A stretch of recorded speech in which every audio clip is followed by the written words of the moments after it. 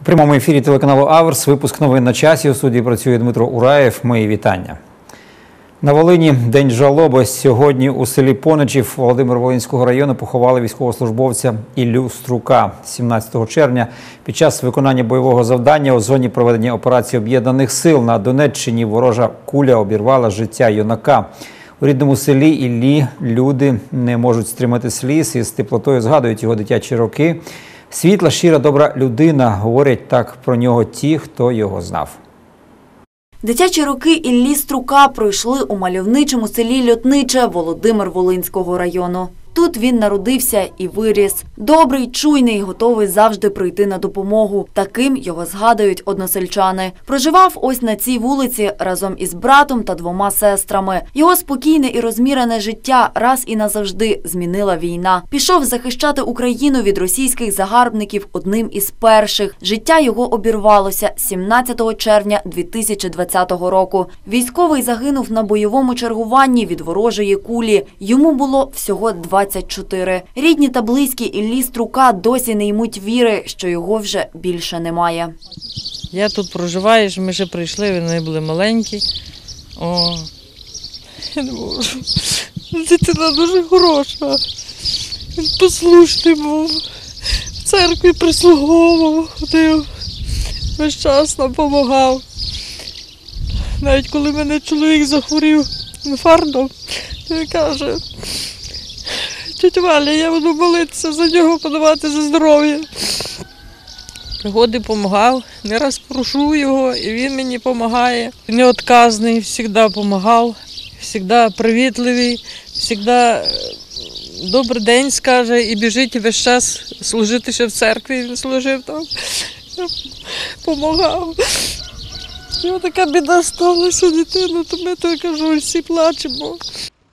Сусіди Іллі розповідають, що він був справжньою опорою для своєї мами. Рано змужнів, адже ще дитиною втратив батька. Душею тягнувся до Бога. Від е, свого щирого серця, що то просто дитина від Бога була, понімаєте? Що за ним всі плачуть і всі будуть плакати.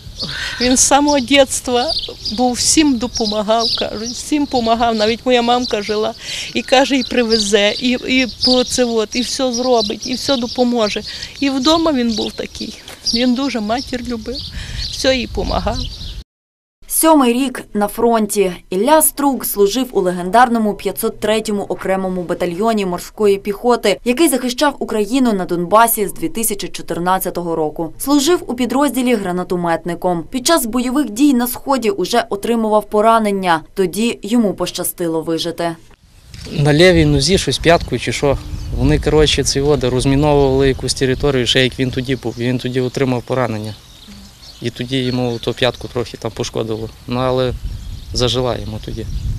Якось обійшлося. А цей раз, бачите, пуля попала і все. Друзі дитинства Іллі Струка кажуть, він був сповнений мрій та планів. Прагнув пов'язати життя з армією, збирався створити родину. Та ворог не дав цьому збутися. Спілкувались в дитинстві, футболи грали, гуляли тут по району. Табори всякі там, качелі, то і все, і бесідки робили, строїли, халабутки. От таке, все по дитинстві. Дуже хороша людина по своїй житті, людина слова. Завжди був чоловіком, тримав своє слово і нікого в обіду ніколи не давав. Був трохи замкнутий в собі хлопець, скритий. Він- Він все, всю інформацію, якісь там обіди, щось на когось, він все тримав в собі. Він не давав це все на показ. Про нього, знаєте, я можу сказати, що завжди був такий е, саме найперший на, на підрив. І е, ну, поганих слів взагалі навіть нічого не можна згадати. Людина була завжди добра, чуйна, відгукувалася на, на любі заклики. Е, останній раз ми з ним бачились, напевно, що десь е, років півтора тому. Ну, але свій початок, який він брав, скажімо, в тій службі, ще коли він пішов на Майдан. Потім в 15-му році вже пішов до війська. Ну, ми тримали з ним такий зв'язок, е, скажімо так, завжди щось комусь один другому допомагали. Він багато чого не встиг. Не встиг одружитися, стати батьком, не зміг дожити до перемоги над окупантом. Його мріям і планам вже ніколи не збутися. У цій кривавій війні Україна втрачає кращих синів. Ілля Струк віддав за рідну землю найдорожче своє життя. Та він житиме вічно у пам'яті тих, хто знав його і любив. Катерина Возняк, Мирослав Хотимчук для новин на часі.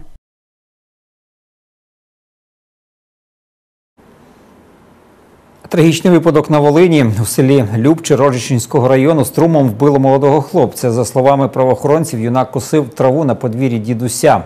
Серед трави лежав оголений провід. Хлопець взяв його у руку, аби відкинути це і стало причиною ураження струмом.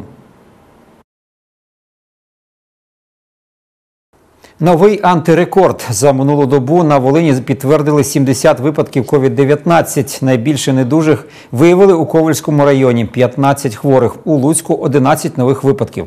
В Луцькому районі 7 людей занедужило. Місто Новолинськ там 3 випадки, у Камінь-Каширському районі 3 нових хворих, у Ківерцівському районі 6.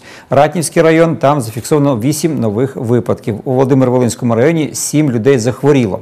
Горохівський район там 3 випадки. В Іваничівському та Турійському районах захворіло по двоє осіб. По одному випадку зафіксували у Любішівському, Локачинському, Шацькому районах. Загалом, станом на ранок 20 червня в області зареєстровано 1743 випадки COVID-19, одужало 551 особа, 52 людини померло. Усього з початку епідемії COVID-19 в Україні підтвердили 35 тисяч 825 випадків, 994 людей померли від ускладнень, 16 тисяч 406 осіб одужали.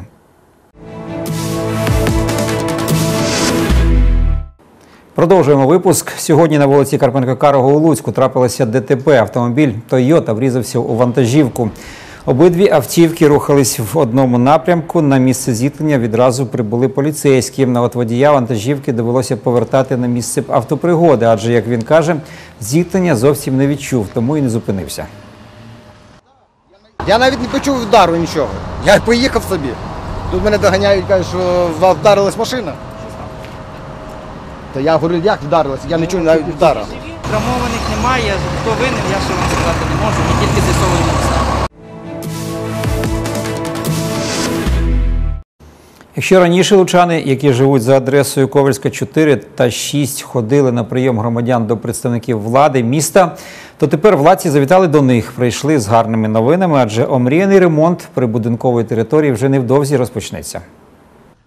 В дворі на вулиці Ковальській 4 та 6 мешканці завжди слідкували за прогнозом погоди та боялись дощу, адже після опадів були майже відрізаними від інших вулиць через ями та катакомби. Їх люди жартома називали басейнами, адже не можна було вулицею ні пройти, ні проїхати. Допомоги вирішили ж просити у міської влади. Як тільки дощ, так тут басейн. Чи надіялись ви, що вас почують нарешті? Я думаю, з такими настойчивими мешканцями, як в мене тут, то би, то би почують, то чують, чують їх, слухай, бо вони не дають спокійно їм жити, правда? Мешканці дійсно активні та наполегливі. Неодноразово, щоб їх почули і відремонтували прибудинкову територію, приходили на прийоми громадян, де просили звернути увагу міської влади на їхній двір, адже бачили, як оновлюються інші прибудинкові території у Луцьку. Е, Три рази був на прийомі в недопада. Ну, віз досі там, скажімо так. Ну, може, нарешті нас почули. Будемо надіятися, що, що, що вже так буде, що нам все-таки е, на цей раз вже зроблять ремонт прибудинкової території. О.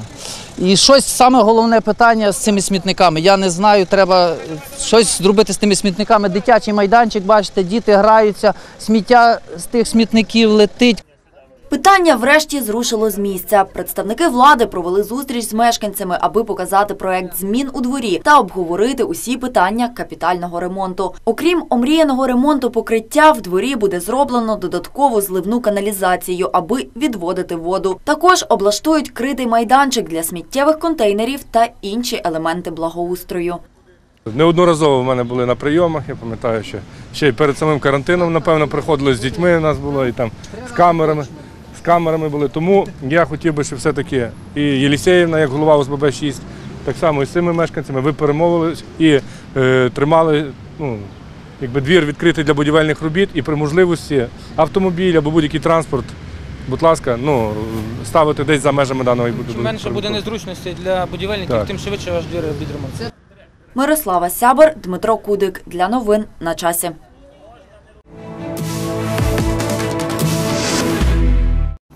На передовій сучасних технологій без болю і з мінімальними травмами саме так оперують у відділенні урології Луцької міської клінічної лікарні. Чи не уся робота відділення це майже виключно хірургічні втручання. Тут оперують навіть онкохворих. У чому секрет успіху, розповість Олена Лещук. Оце є ендоскопи наші. Це, це е, ендоскопи. В основному це цистоскопи, операційні, оглядові, якими ми заходимо в тіло пацієнта, і це освітлювачі, і під, під оком дивимося всю.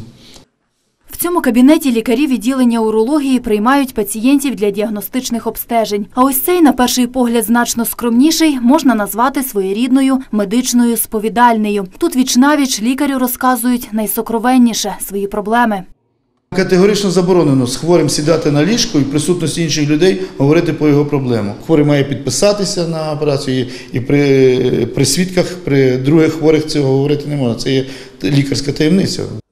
Мирослав Коник каже, найважче в їхній роботі тяжка урологічна патологія. Нині таких пацієнтів дуже багато, бо ж люди за допомогою почасти звертаються надто пізно. Відділення займається майже виключно хірургічною роботою. І запорука хороших результатів, як каже завідувач, це спільні зусилля усіх працівників, а їх у відділенні 28.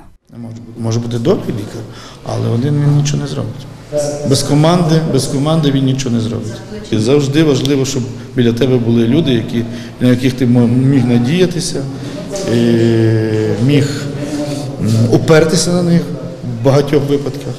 От, коли навіть е, які замінили б е, тебе в важких, важких ситуаціях. От, я думаю, що в мене такий, такий колектив є. Уся значимість командної роботи особливо помітна під час операцій, а вони у хірурга одна за одною. Ось і зараз кілька хвилин інтерв'ю, і він знову опинився в операційній. Ми робимо трансуретральну резекцію простати, будемо робити. Тобто видаляємо простату ендоскопічним методом.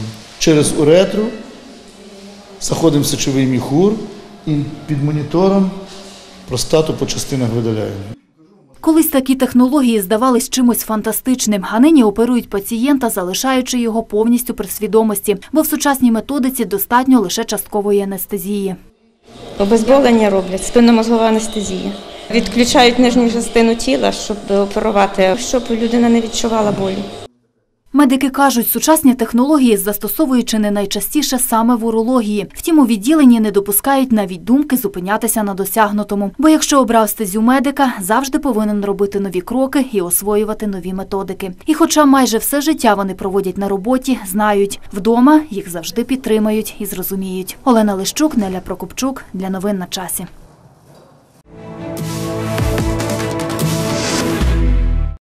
Випускник священиків у Волинській православній богословській академії. Це вже 26-й випуск у Волинській духовній школі.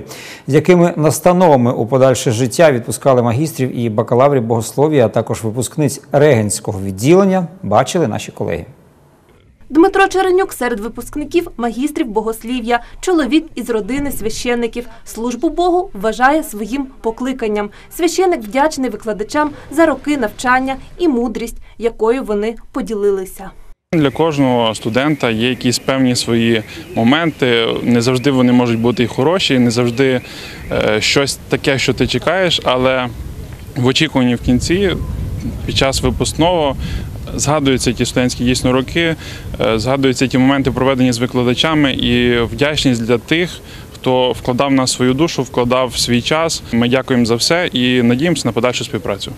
Це вже 26-й випуск Волинської духовної школи. Магістри та бакалаври богослів'я надалі будуть нести священне служіння. Завершили навчання і випускниці регенського відділення, які зможуть бути керівниками церковних хорів, викладачами християнської етики та закону Божого. У Волинській православній богословській академії навчаються не лише мешканці нашої області, а й капелани зі сходу України. Під час карантину вони навчались дистанційно. Серед цьогорічних випускників є навіть громадянин США. Через карантин він не зміг бути присутнім на випускному. В бакалавраті студенти вивчали більше 40 богословських дисциплін протягом 4 років. В магістратурі близько 30 предметів за 2 роки навчання. Випускники регенського відділення здобували тут знання протягом трьох років. Кожен з них ну, своїми певними планами, надіями виходить. Хтось, хто закінчив бакалаврат, ще будуть продовжувати навчання в магістратурі. Ті вже, хто котрі здобули вищу освіту магістрів, відповідно, вже будуть нести своє служіння в різних куточках України, е, ну, несучи ту духовну освіту, яку здобули в нашій школі. Як священнослужителі, хтось буде приймати сан, бо не всі вони є священнослужителями, хтось ще не одружений, не прийняв сан, але все рівно вони є майбутнім нашої помісної православної церкви України. Віра Шевчук, В'ячеслав Марушко для новин на часі.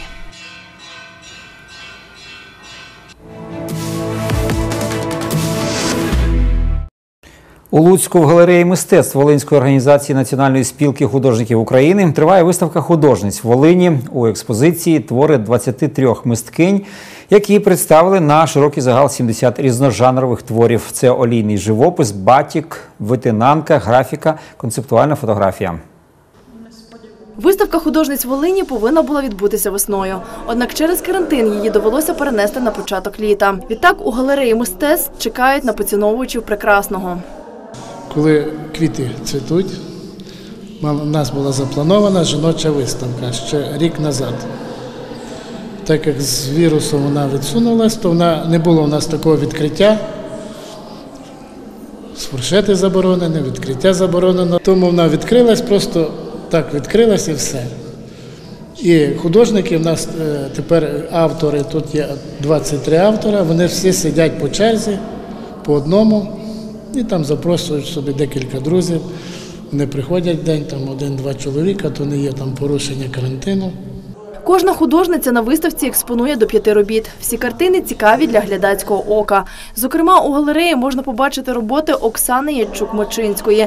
Це сублімація та дороги. Мисткиня каже, на такий глибокий аналіз та переосмислення свого життєвого шляху наштовхнули події з коронавірусом в Україні. Ці роботи народилися під час карантину і, скажімо, не просто сублімація як сублімація, а тому, що приходить в кожної людини якийсь період оприділений, вона передивлюється своє життя. Тому е, треба відчувати себе, вміти відчувати свої імпульси, і саме ця робота е, можна назвати ще сім імпульсів. Варто зауважити, окрім картин, у галереї залишилися експонати з попередньої виставки скульптури. Тож відвідувачі впродовж літніх місяців матимуть можливість переглянути мистецькі твори різного жанру та насолодитися експозицією. Анна Романчук, Неля Прокопчук для новин на часі.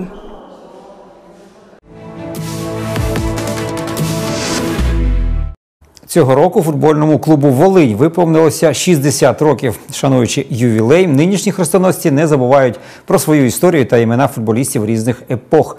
У найперших професійних сезонах честь команди з Луцька відстоював півзахисник Валерій Синюк. З футбольним ветераном спілкувалась наша знімальна група. 60-річна історія футбольного клубу Волинь багата на цікаві події та відомих футболістів. Щоправда, з перших професійних сезонів команди у союзному чемпіонаті залишилося не так багато ветеранів. Один із таких півзахисник Валерій Синюк, який грав у Волині та тренував талановиту луцьку молодь у перші професійні роки клубу. Все життя так чи інакше. Воно зв'язане з нею, з цією командою. Звичайно, це для мене надзвичайно велика подія. І я радий, що я зустрівся тоді з великими, хорошими людьми, і як футболісти, і по-чоловічому гарні люди були. Багатьох вже немає життя, вже пішли життя. Деяк, про деяких я взагалі нічого вже не знаю.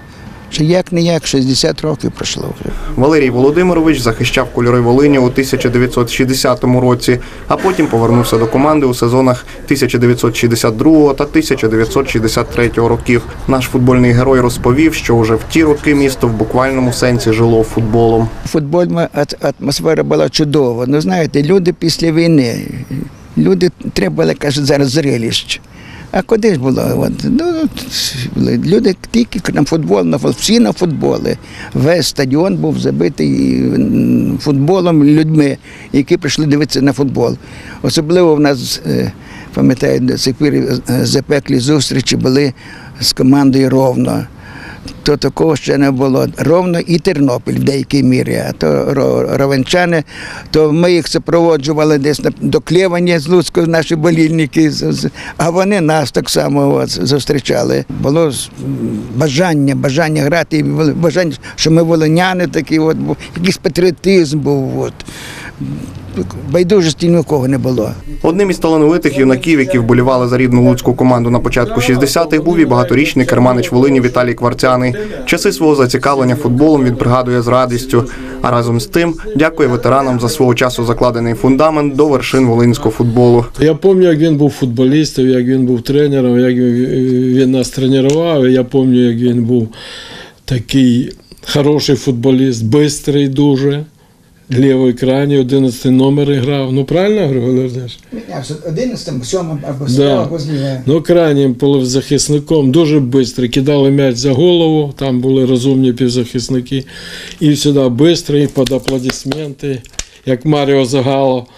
І Валерій Володимирович, там подача, проход, все. І це було дуже цікаво. Я це пам'ятаю, от воно вже от переді мною. Це дуже важливо, тому що поки ми ще можемо поспілкуватися з людьми, скажімо, історії волинського футболу, які реально були фундаменталістами і створювали історію, створювали, ну, закріпляли по відношенню до інших областей. Валерій Синюк, крім виступів за Волинь, був і тренером як першої команди, так і юнацького складу. Багато відомих футболістів були його вихованцями. а За них він завжди хвилювався та вболівав. За Едіка Іващенка я дуже переживав, бо е, Едік Іващенко е, був член збірної команди України юнацької.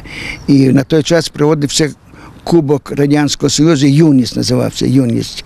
І Едік Івашенко в складі збірної команди України він грав півзахисником. Разом з Монтяном Володимиром в одній команді з Бишевцем, вони всі 46-го року, це ж була і пліяда. стали чемпіонами Союзу. І от, ну як же таке, звичайно, я переживав, звичайно, переживав. І те й за Юру Петрова, він ровно потім переїхав. Переживав за усіх. Це ж діти ж мої були. Після завершення тренерської кар'єри Валерій Синюк багато років пропрацював в обласному фізкультурно-спортивному товаристві Колос, допомагаючи розкриватися багатьом спортсменам світового рівня. Утім, у свої 83 роки не забуває він і про рідну футбольну команду, за якою спостерігає і дотепер. слідкую і переживаю. Зараз якісь негаразди, це в першій групі, там незрозуміло, багато робиться незрозуміло що. Ну, То завершити календар, календар, то не завершувати чемпіонат. Наконець, мені здається, завершать. Завершать і буду без, безумовно буду переживати, тому що Динамо, Динамо Торпедо, Луцьк, одна з команд, яка буде в вищій лігі, я надіюсь. Дмитро Кузнєцов, Дмитро Кудик для новин на часі. Журналісти Аверсу продовжують стежити за головними подіями Луцька та області, аби ви знали більше. А тож ви можете також слідкувати за новинами на нашому youtube каналі у зручний для вас час. До співпраці ми традиційно запрошуємо і вас. Номер редакції зараз ви бачите на екрані. У студії працював Дмитро Ураєв. Вдалого вам продовження дня і лише гарних новин.